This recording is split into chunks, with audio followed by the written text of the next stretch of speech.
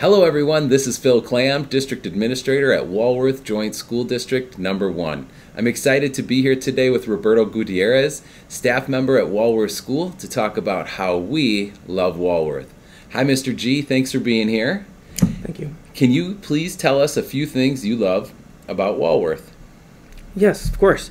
Um, to me, Walworth uh, really is like family. Um, for example, uh, the co- my coworkers, um, they're very friendly, um, very helpful. I think we work really great together uh, when it comes to helping the students and really helping them learn.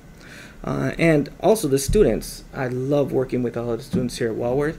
They're such great, great children, and just seeing them grow makes it even even better.